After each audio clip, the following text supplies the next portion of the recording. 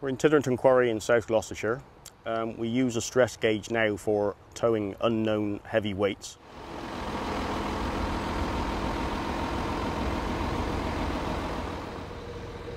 It came about um, because obviously there were situations where we didn't have a clue about what weight we were towing. So we looked at the situation, came up with the stress gauge, um, connect it all up as you can see behind me. Previously we used wire ropes and chains, um, but obviously when you're pulling unknown weights, you're putting a lot of tension, an unknown amount of tension on the wire ropes and chains, and if they snap, you obviously got no control over where they might end up. You've got potentially dangerous occurrences, lacerations, personal injuries. You just don't know what is going to happen.